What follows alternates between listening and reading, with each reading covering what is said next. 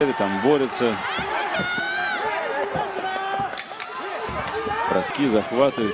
我是庞超，我是黄宁，关注公众号“实用形意拳”。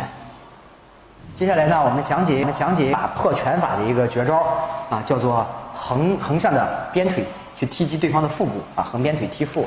那么这个动作会产生非常大的一个伤害，而且很容易把对方打得抽那个胃部痉挛，或者是呃晕倒在地。 这是个非常非常好的一个绝招。如果踢到肋骨呢，会把对方的肋骨踢骨折。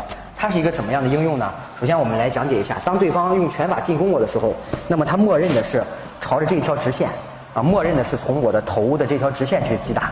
所以呢，他都是几乎都是直打直，砰砰砰，对，再来一遍，砰砰，对，砰砰，对。当他习惯了这种动作之后呢，我们发现他再次有拳法进攻的这种意识的时候，我们微微的横撤半步。那么这个时候，对方正好前冲，我正好迎击，那么这两个力量相撞到一起，力量会是非常大的。所以呢，我们讲解一下。那么做在做这个动作的时候，需要注意。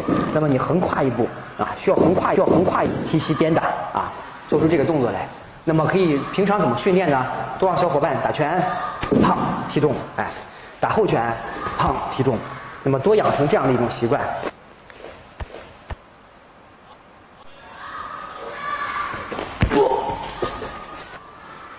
在实战应用的时候，就能够运用得心应手了。